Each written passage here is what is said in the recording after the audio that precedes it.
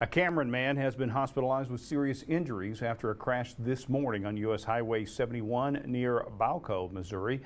43-year-old Corey Miller was driving a Volvo semi at 10 a.m. when he went off the highway, flipping the semi onto its passenger side and crashing into a utility pole. According to Missouri State Highway Patrol crash reports, Miller was taken to Mosaic Life Care in St. Joseph for his injuries.